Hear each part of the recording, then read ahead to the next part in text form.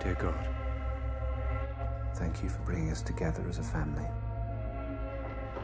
I hope you're both settling in well. Yes, thank you, Father. We'll make it a home in every room. Amen. Over there is bedroom. That is the living room. And this is the dining room. What's this room? You're not to go there. You're forbidden.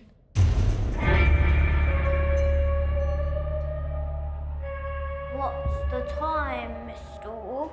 Brilliant. What's the time, Mr. Wolf? What's the time, Mr. Wolf? Addy. There has been a man seen in town this afternoon. He's a charlatan, a storyteller. He's dangerous. Well, have you placed the young couple in that house? They shouldn't be there. Have you seen things in the night, perhaps? You heard whispers? You're talking about the voices? What did you hear? It was nothing.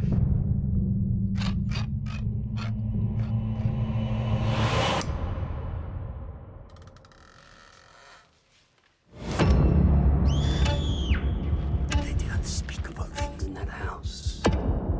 It's just created by that man to mess with our head.